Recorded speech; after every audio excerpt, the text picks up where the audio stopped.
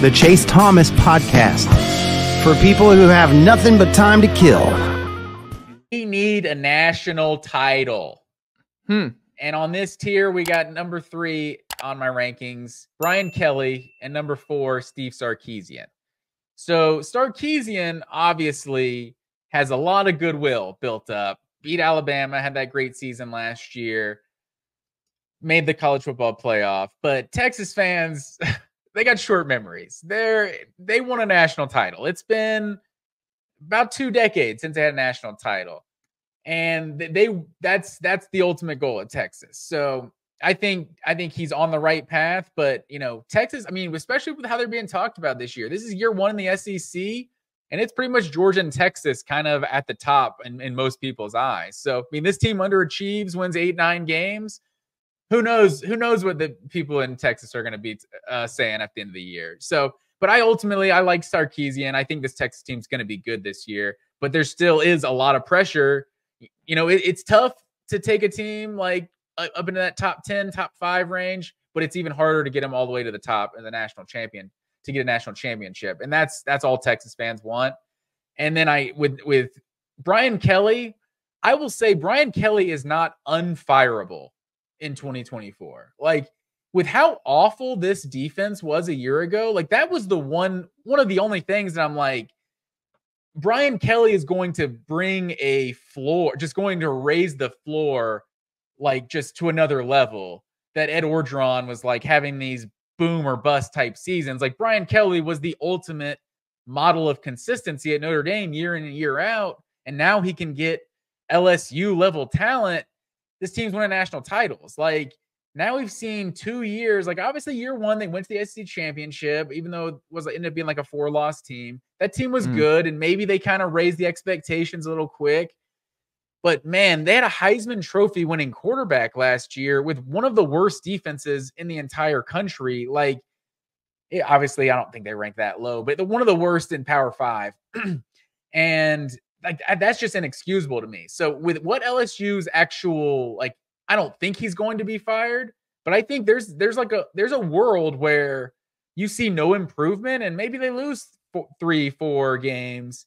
LSU's like this isn't what we signed up for. So I don't know. I'm I'm not predicting he gets fired, but I'm, I'm saying he's not unfireable with just kind of how how they just uncharacteristically underachieved a year ago it's funny. Like he had a Heisman quarterback this past year. Um, the offenses have been elite. He's still recruiting at a high level. Um, they're in the blue chip ratio. They there was a thing this offseason that kind of dominated for a while about like the NIL and the defensive line thing because one of the defensive linemen ended up at what the TCU kid ended up at Oklahoma they in on or whatever, and um, that was like something that got headlines like two months ago um, in terms of like is Brian Kelly doing enough um, in the talent acquisition department? But you talk about the defense.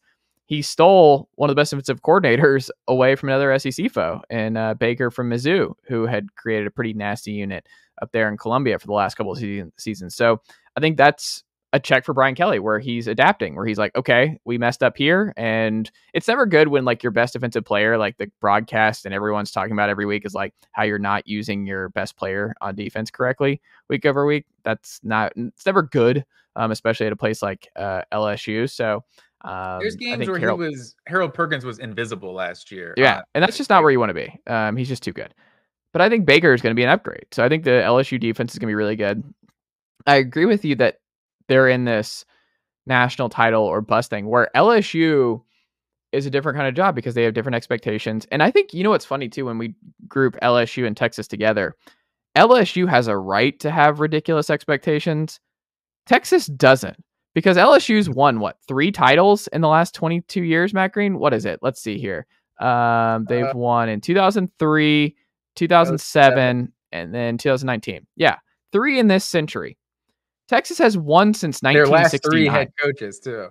Yeah, but that's the thing is like they they have a right to just like swap guys out. There's enough talent in the state of Louisiana. They have the NIL. They have the his. They have the history. They they can go out and find their guys. They they'll stumble their way into the next Nick Saban, whoever, Les Miles, this, that, and the other. Like they'll find the next guy. They'll find somebody else to come in here and win it at Baton Rouge. They don't need Brian Kelly.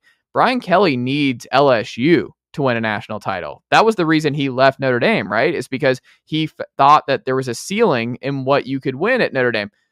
LSU's like, our ceiling's not going anywhere. Like we don't need Brian yeah. Kelly. Like we we hire Brian Kelly to bring some stability here, and he's been good, but he hasn't been great. Like we haven't seen like the great just. I mean, beating Alabama in year one was a big win for him. Obviously, having Jayden Daniels win the Heisman last year. You lose your OC back to Notre Dame. We'll see what that means for this offense. They promoted from within the co coordinator thing.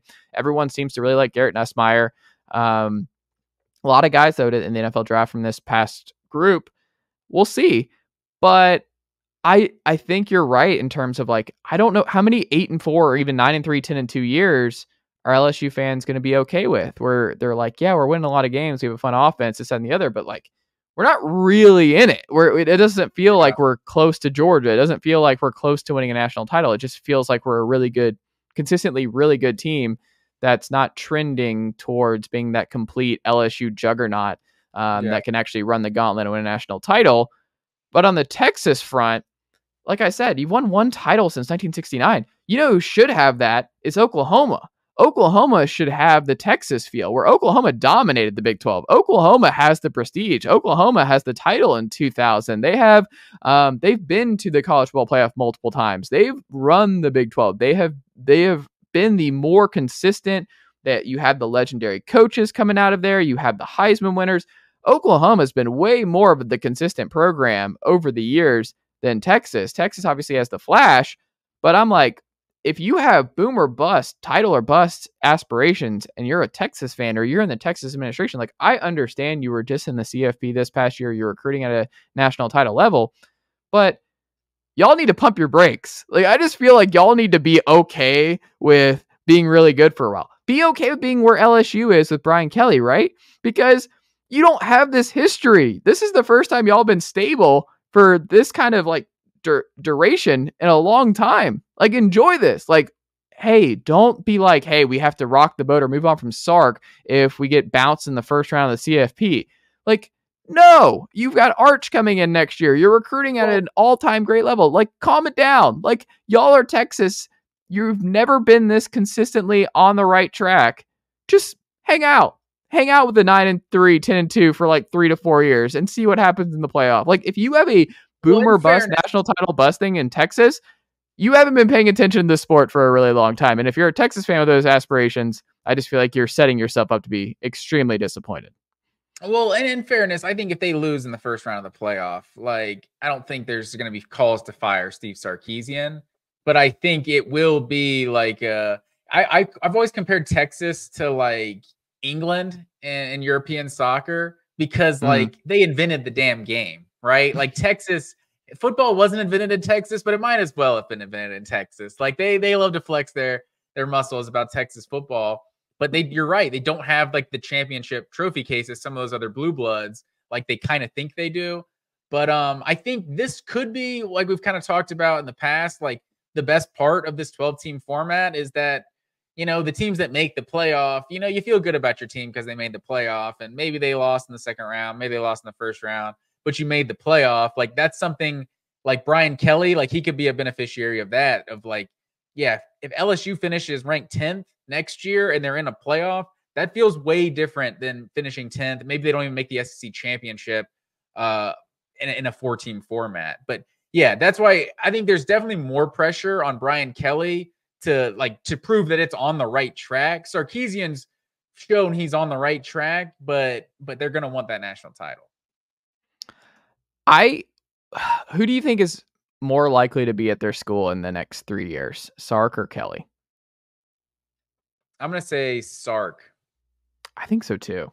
Because I think Texas, man, they might have just just hit the the jackpot with this NIL and like SEC money now coming in like all at the right time. Like in their they're they're on a had them in a good season coming out of the Big Twelve. Like uh, they they might have uh they might have struck gold coming to the SEC.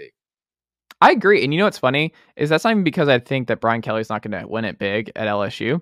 I think Brian Kelly could win big at LSU and then like immediately retire. Where he's like, "All right, did it, done. All right, we're good. I just needed to prove to myself that I could win a title uh, at uh, with the big dogs with uh, elite talent. Like I could 100% see that, right? Like I just, it's hard yeah. for me to see Brian Kelly at Baton Rouge for like seven years. Like I just I think that's very unlikely to me. Yeah, I think I think for him to be there for another three years, there's got to be like a Final Four, a something like a, some some some sort of like national title contention for sure at LSU. Yeah. Um, our next that brings us to our next tier. The next tier is the national title contenders. This is what this is.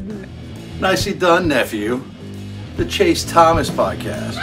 Hell yeah.